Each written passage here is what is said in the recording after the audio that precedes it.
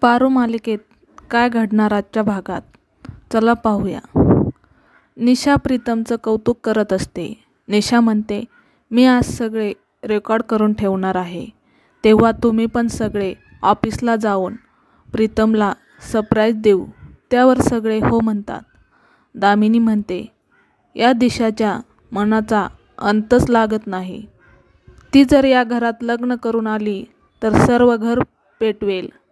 तेव्हा तिच्यापासून सावधानी जपून राहायला पाहिजे. इकडे प्रिया देवाच्या पाया पडायला येते. तेव्हा निशा मॅडम प्रीतम सरांशी अशा का वागतात? ते मला सहनच नाही झालं. प्रीतमला सोडून यायचं नव्हतं मला. पण आता मी तिथं नसणार. तेव्हा देवा तूच त्यांची काळजी घे. निशा मॅडमचा काही त्रास होऊ देऊ नको. प्रिया प्रीतमला फोन करते. आणि मी आता इथून जाणार आहे. माझा आता जॉब पण गेला आहे प्रीतम सरासाठी. निशा ही चांगली नाही तेव्हा प्रीतम तुम्हाला का एवढी काळजी? तेव्हा प्रिया मला प्रीतम सर आवडायला लागते. मी प्रीतम सरांच्या प्रेमात पडले. प्रीतम सांगतो हे ऐकायला मी किती वाट बघितली. पण तुम्ही कुठे जाऊ नका. मी तिथे येतो. सगळं समजावून सांगतो. फक्त एक छोटीशी मीटिंग आहे. माझी. तिथंच थांबा. प्रिया म्हणते. तुम्ही ड्रिंक केलं आहे का? प्रीतम हो थोडंसं. आज मला निशाचं भांडं फोडायचं आहे तुम्ही कुठंही जाऊ नका. मी लगेच येतो. प्रिया पारूला फोन करते. आदित्य कुठे? ते त्याच्या रूममध्ये असेल तर सांग. प्रीतम सर ठीक नाहीत. पटकन जा आणि आदित्यला सांग. त्यांनी खूप ड्रिंक केले आणि ते मीटिंगला चाललेत.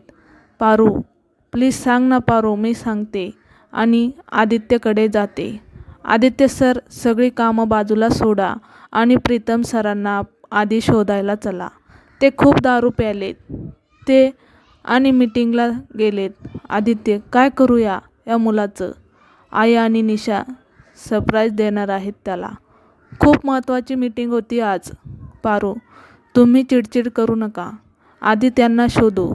प्रीतम ऑफिसला पोहोचतो. तिथे सगळे चर्चा करतात. अहिल्या किर्लोस्करांचा मुलगा तोही मीटिंगमध्ये चक्क दारू पिऊन आलाय. तेवढ्यात निशा येऊन प्रीतमला बडबड करते.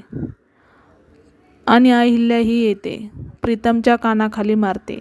म्हणते एक आई म्हणून आज माझा पराभव झाला आहे आणि सगळ्यांची माफी मागते. माझ्या मुलाला मी संस्कार देऊ शकले नाही. त्याच्यामुळे तुम्हाला त्रास झाला असेल तर मी माफी मागते.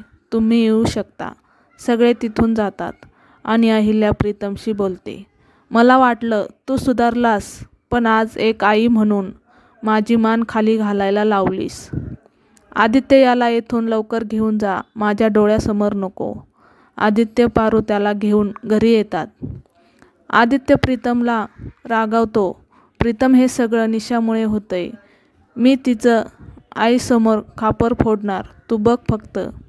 आदित्य तुझ्या चुकीचं खापर निशावर फोडू नको. निशासोबत तुझं लग्न ठरलंय. तेव्हा तुला तिच्यासोबतच लग्न करावं लागल. पारू आदित्यला समजावते तुम्ही ते शुद्धीवर नाहीत.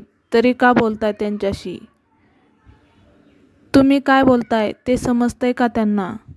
ते शुद्धीवर आल्यावर बोला शांतपणे. तुम्ही त्यांचे मोठे भाऊ आहात. तुम्ही नाही तर कोण समजून घेणार त्यांना? आदित्य आज आईला हात जोडून माफावी मागावी लागली याच्यामुळे. मला नाही वाटत मी याला माफ करू शकेल.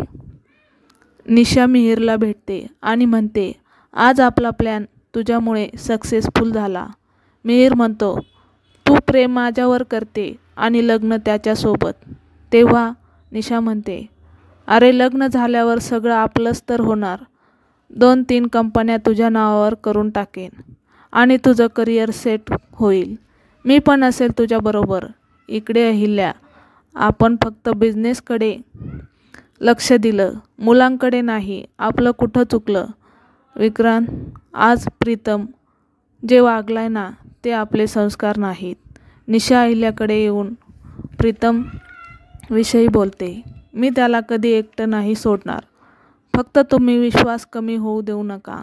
त्याच्यावरचा आणि माझ्यावरचाही. अहिल्या मी प्रीतमचं लग्न तुझ्याशीच करून चूक तर नाही करत ना निशा? तुझ्या निर्णय अजूनही तू बदलू शकते. तुला प्रीतमशीच लग्न करायचं आहे का? निशा त्यावर म्हणते. हो मी त्याच्यावर आता प्रेम करते आणि मला तो आवडूही लागलाय आणि मी त्याला माझा नवराही मानलाय तेव्हा मी प्रीतमशीच लग्न करणार. तुम्ही काही काळजी करू नका. मी त्याला नक्की सुधरावेल.